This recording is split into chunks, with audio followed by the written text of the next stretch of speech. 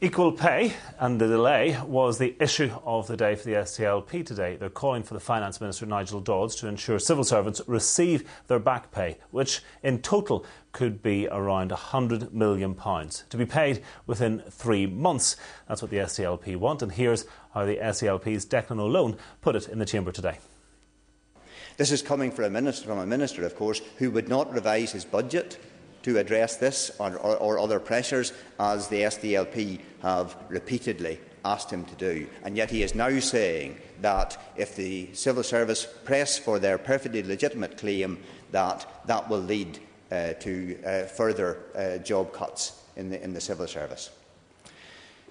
Uh, there's been quite a bit of talk about the hundred millions and it being available, and indeed uh, a, a number of the officials seem to, to uh, they are writing to me as to many other members, and they are talking about the minister having banked hundred million to deal with this problem. And let's be clear that the Minister has not banked anything to deal with this problem and has no money to put in the bank to deal with this problem. So when there is talk of hundred million, Let's uh, identify what that is, is, about. Be clear that the 100 million that's been talked about from Downing Street is not real. There is not an extra penny piece in the Northern Ireland block in the Minister's budget to deal with this issue. All that is in offer is permission to use some existing money already allocated for other purposes and to borrow more money that will have to be paid back on top, of course, of the additional borrowings that are going to be, have to be paid back in relation to the Chancellor's recent budget. I wonder how does all this look from the perspective of, the, of these 9,000 civil servants, who are, of course, relatively uh, low-paid officials. How do they feel when they have to negotiate for their rightful salary, their rightful salary, with senior civil servants who have no delay at all in allocating to themselves very large bonuses. I wonder how, they, how do they feel when they recall Peter Robinson's promise to settle and they look at his expenses claims. There is no second home allowance for them. There is no £400 monthly food bonus for them. I don't think they will be at all pleased with Peter Robinson's put down remark about people not being happy until he is sleeping on a park bench. I do not see a lot of sign of Peter or likelihood of Peter Robinson uh, sleeping on a park bench, nor do I think that he's losing much sleep at all over the situation in relation to uh, his 9,000 civil servants. Well, the DUP's Simon Hamilton mounted his white charger and rode to the defence of the Finance Minister. To try to dismiss that either uh, what this, the interest of this minister, his predecessor, or indeed this party on this side in this chamber is absolutely gross distortion of the truth. Um, we are deeply committed to seeing the principle of equal pay uh, for work of equal value uh, adhered to within the Northern Ireland civil service. And this, uh, and I understand, I have to say, Mr. Speaker, I very much understand the frustration uh, of civil servants at the, the length of time it takes to resolve this issue. Uh, I can sympathise with them for that. And, um, but they, myself, they, and everybody here should at least realise that this is an extremely complex issue. This is not something that's simple or straightforward. Indeed, if it was, it would have been resolved a long time ago. And there are a lot of issues as to why it is not a simple or straightforward matter. Uh, we, we, talk about these notions of equal pay for work of equal value, but what does, work, what does equal pay equate to what is equal pay.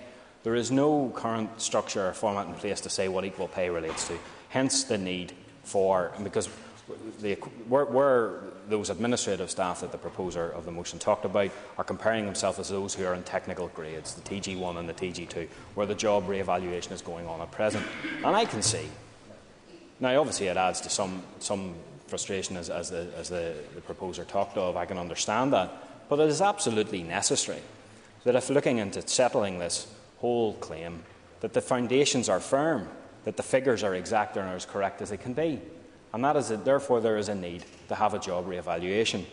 And there's also the need, I would suggest, for negotiations perhaps in the future with Treasury on the matter, or indeed within the, oh, let, let, let, me finish, uh, or indeed with the, with the Executive.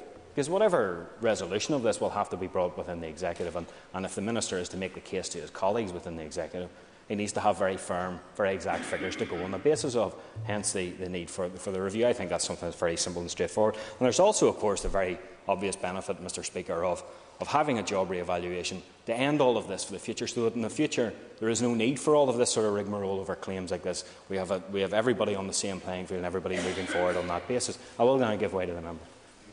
Uh, given his agreement with me that comparability is at the heart of this, uh, would he explain why this exercise in comparability is only starting a full year after the minister, that, uh, the minister at the time, uh, Peter Robinson, said he wanted to settle? Uh, Mr Speaker, um, that is a matter which the, the, minister, uh, the, member can put to the Minister. I'm sure the Minister has heard that. He can answer that. I, I, all I can say is that I can see the logic behind the decision to do it. I wish he would appreciate the, need to, the, the, the, very real logic that there is in having comparability there. And if that, need, if that requires a job re-evaluation, I'm sure he wouldn't want to see just some figure plucked out of mid-air, that, it, that it is important, therefore, to do it. The timing is a matter for others to, to, to answer. I can't obviously do that myself. I'm not the finance minister. Uh, there are other... Com- yeah. They're, they're oh, I'm, I'm, it's not. It's not blushing. It's not blushing. It's the. It's the sun. It's the sun. it's the sun. Um, um, maybe, maybe, a hospital pass in the circumstances, Mr. Speaker. Uh, but uh, there are other complexities with this matter as well, not least the issue of resources and the budgetary implications. And uh, the proposer touched on these issues. And he is right in this sense that it doesn't matter. So if somebody has a right to equal pay, that right is absolute in this regard. However, there are very clear budgetary and financial implications to this, and this is what makes, I think, the, the original motion somewhat ludicrous in saying that not, it's not only that it needs to be resolved or that you know, there's some agreement between both parties, but that, that st staff affected receive their back pay within three months. Now, that is, that is clearly something that is very difficult to achieve if, if the figure is as high as has been estimated. Um, and, and to, to, just to say that, that that be, be, be, found within three months, I think is quite ludicrous, Mr. Speaker. Um, yes, there is access to some 100 millions there, but in reality, the figure which is settled upon could be much higher than that. Uh, and, and obviously, then, it extends from that that there are implications, budgetary implications beyond that as well. And everyone involved, the staff, the unions, ourselves in this chamber and beyond, others beyond, must therefore be aware uh, that the cost of settling this could actually be counterproductive for public services. Simon Hamilton uh, there uh, rejecting the SDLP motion on equal pay, and then, somewhat strangely, a short time later, the DUP withdrew their amendment and the SDLP motion was carried. So, the original ludicrous motion has been passed. The SDLP are cock a hoop.